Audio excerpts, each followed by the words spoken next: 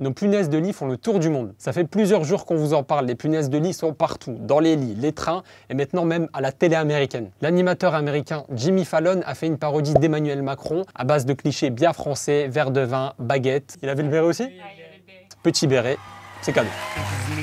There are bugs in Paris that are bigger than fleas and they make you itchy. They could be in your sheets, so check underneath. And if it were me, I wouldn't do Airbnb.